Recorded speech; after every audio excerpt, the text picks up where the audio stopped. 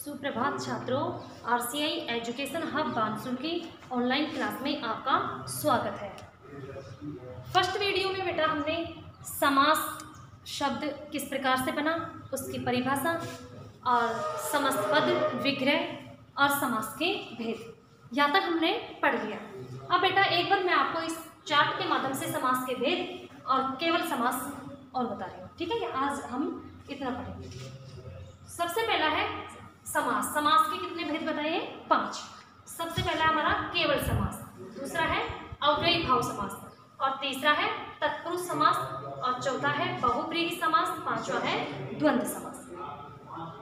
अब बेटा देखो, केवल समास अव्ययी भाव समास, और तीसरा हमारा तत्पुरुष समास है। अब इस तत्पुरुष समास का, तत्पुरुष समास के दो भेद हैं, समानाधिकरण तत्पुरुष और व्याधिकरण तत्पुरुष ठीक है कितने भेद हैं समानाधिकरण तत्पुरुष और व्याधिकरण तत्पुरुष। दो हो गए, ठीक है? उसके बाद जो समानाधिकरण तत्पुरुष है, समानाधिकरण तत्पुरुष के में ही कर्मधारी समास द्विगु समास और नन तत्पुरुष, ये समानाधिकरण तत्पुरुष के अंदर ही आते हैं। जिनको हम अलग अलग पढ़ते हैं कर्मधारय समास द्विगु समास, इस प्रकार से पढ़ते हैं। ये समानाधिकरण का ही क्या है? क्या है ये भेद है, ठीक है? समानाधिकरण का कर्मधारी द्विगु समास और नन तत्पुरुष। है इसके बाद हमारा चौथा है बहुबली समास और पांचवा जो द्वंद्व समास है द्वंद्व समास में भी तीन प्रकार है, इतरेतर द्वंद, समाहार द्वंद, एक शेष द्वंद। इस प्रकार से ये हमारा यानी कि समास का फ्लो चार्ट है। अब हम पढ़ेंगे केवल समास। कौन सा समास पढ़ेंगे? केवल समास। विशेष संज्ञा विनिर्मुक्त है, केवल समास है। विशेष संज्ञा विनिर्मुक्त केवल समास है। यानी किसी विशेष संज्ञा से रहित समास को या नाम से रहित समास को क्या कहते हैं? केवल समास कहते हैं। सूत्र है, विशेष संज्ञा विनिर्मुक्त केवल समास है। अर्थात किसी विशेष संज्ञा से रहित या फिर नाम से रहित समास को क्या कहते हैं?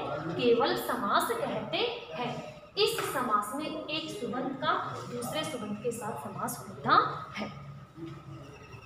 यथा जैसे देखो बेटा समस्त पद देखो और समास विग्रह समस्त पद है हमारा, भूतपूर्व है। समस्त पद क्या है? भूतपूर्व है।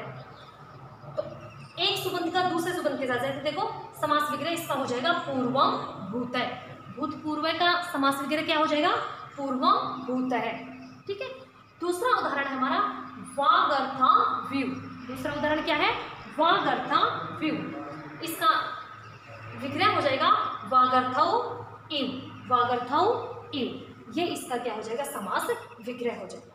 इस प्रकार से ये हमारा लोग केवल जो समास है, ये यानी कि बस इसके यहाँ तक ही, इतने उदाहरण ही बहुत है।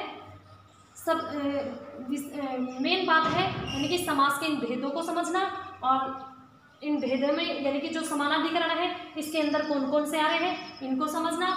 फिर व्याधिकरण तत्पुरुष अलग से है और द्वंद समास, इतरेतर समाहार और एक से ठीक है? जिसको हम अलग अलग करके पढ़ रहे हैं। ये समान समानाधिकरण के ही तीन भेद है, कर्मधारी द्विगु और नन तत्पुरुष ठीक है बेटा? आज के वीडियो में हम इतना ही पढ़ेंगे। इससे आगे अव्ययी भाव समास कल पढ़ेंगे। नेक्स्ट वीडियो में पढ़ेंगे धन्यवाद।